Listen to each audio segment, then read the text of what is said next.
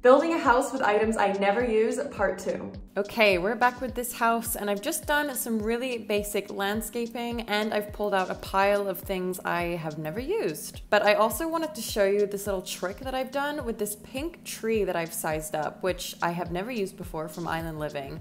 And I've sized it up and then raised it up with my 9 key to blend it in with another tree. Here is the finished landscaping. I am not a fan of these trees, but we've had to use them. Oh, and ignore that floating cat.